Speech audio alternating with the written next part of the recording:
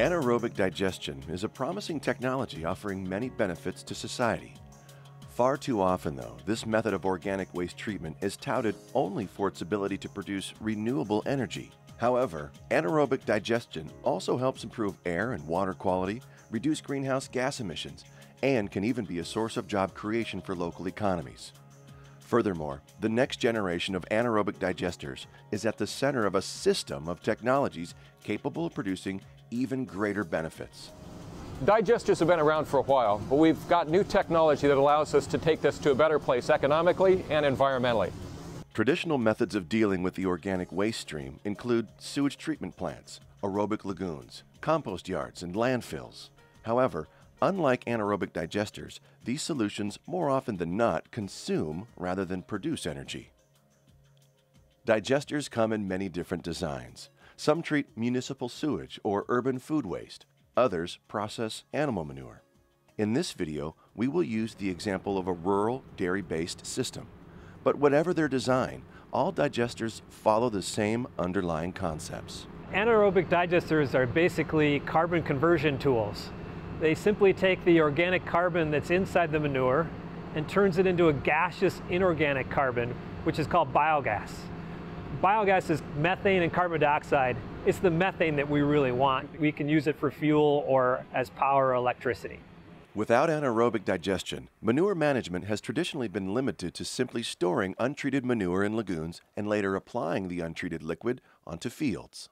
However, this practice leads to potential air and water quality issues, such as nutrient overloading to soils, release of phosphates and nitrates to water supplies, and emissions of odorous volatiles, ammonia, and greenhouse gases such as methane and nitrous oxide. Anaerobic digestion, as part of a system of integrated technologies, can address all of these issues. It gives us the diversification to have more than one item to sell and also helps us control the nutrients, the manure, and that sort of thing. At the center of the system is the digester itself basically a sealed tank where the organic material is broken down. On this dairy farm, cow manure and potentially off-farm organics from the community are collected in a holding pit, then pumped into the digester. The tank mimics the digestion process of an animal's stomach. Inside, the liquid is heated, agitated, and mixed in an air-free environment. This converts the solid carbon in the manure to biogas, which is collected, cooled, and used to power an electrical generator the electricity can be sold to the local utility and sent out to the grid. The system itself creates the energy needed to keep the process going. Temperature and flow are maintained using excess biogas and heat reclaimed from the generator set.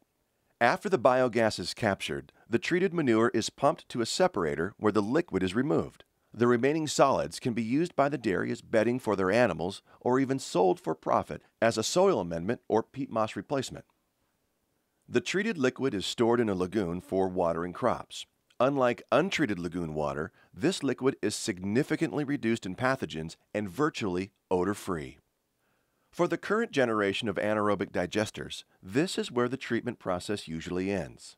However, even greater benefits and value can be gained by adding additional components to the system. One example is nutrient recovery. Anaerobic digesters by themselves do not do a very good job of treating the nitrogen and phosphorus in the manures or organic waste. If you have too much fertilizer, too much nitrogen and phosphorus, it can be harmful for the soil and the plants. That's the case at some of our large animal farms. Therefore, we need nutrient recovery units to be associated with our digesters. Nitrogen, in the form of ammonia, can be reclaimed using a revolutionary new technology developed by Washington State University and its industrial partners. The process is far less expensive than existing methods. We can collect it and then make it into an ammonia sulfate fertilizer that farmers traditionally have used for years. An added benefit is that during this ammonia production process, we cause the phosphorus to settle out. So we get a two for one.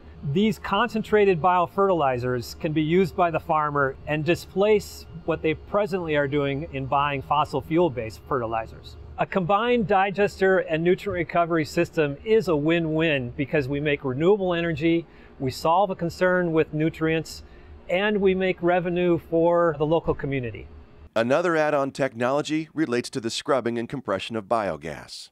In this type of system, biogas is converted to renewable natural gas fuel instead of being used to generate electricity. We're just in the middle of a tip from petroleum-based fuels to methane fuels, natural gas for trucking fleets and for cars.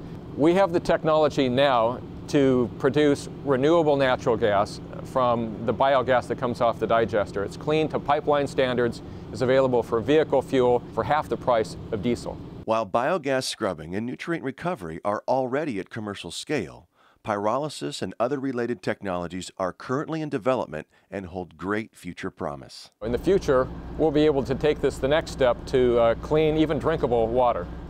Construction of anaerobic digester systems helps state and local economies as well.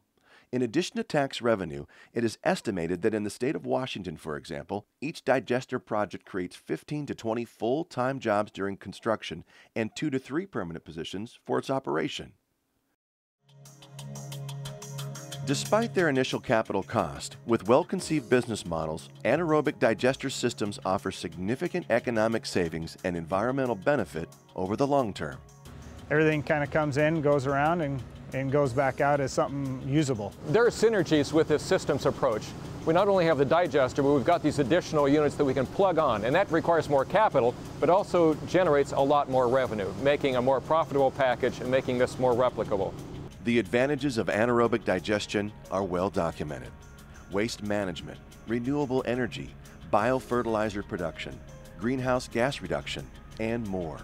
With the incorporation of existing technologies and the development of future ones, the benefits will only continue to grow.